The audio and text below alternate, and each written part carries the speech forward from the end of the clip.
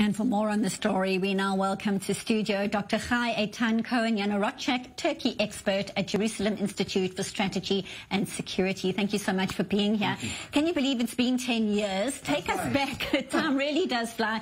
Take us back to that time and how this incident so severed relations between Turkey and Israel. Well, uh, we should emphasize that during the 1990s, we happened to see uh, a honeymoon between uh, Israelis and the, and the Turkish uh, administrations. Uh, the most important uh, factor for that was the uh, separatist Kurdish uh, organization.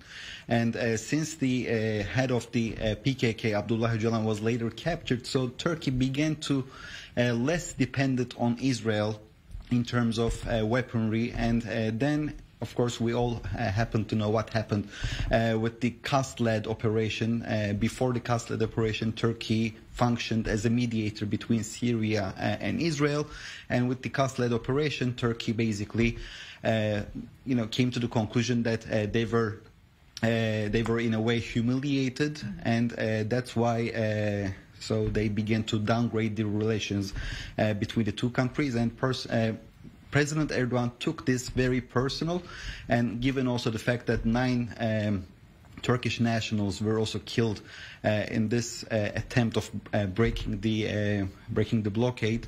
Uh, so uh, it soured uh, the relations, and since then, uh, unfortunately, uh, on daily basis we are seeing demonization of Israel in the Turkish media, institutionalized media, and also in the social media. Even if the fact that the two countries signed a normalization deal later, we don't see that it is a genuine normalization. I'm going to stop you right there because you sure. made mention of the souring of ties. We spoke to people in Turkey right now about how they are feeling on this day. Let's take a quick listen. There was a ship that was going to aid. Israeli soldiers attacked that ship unlawfully.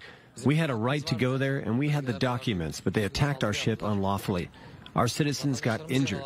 They had to pay compensation, but they did not. It will not affect Israeli tourists because the door's open for them. It's their prime minister's call, and as you know, he has a trial currently.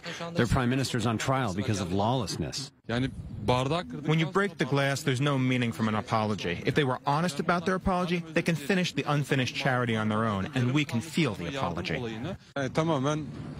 If there are relations between Israel and Turkey, it's just economic relations. During this time, there is no trouble between our countries, but we don't know what will happen in the future. Our government knows much better. Yes, hostility between the two leaders can affect tourism. I don't know how it will affect the local people, but it's the decision of the Israeli people. We don't have a bad perspective towards Israeli tourists. We don't think badly about them. It doesn't matter which country people are from or which language they speak. All tourists are welcome here. Our door is always open for all country citizens.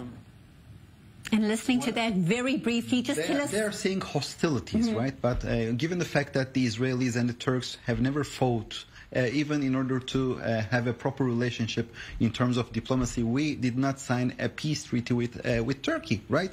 So. Uh, I mean, unfortunately, we see that the uh, the public uh, mindset was very poisoned uh, with this uh, whole uh, friction, and uh, unfortunately, I don't think that it will be a genuine normalization in the near future.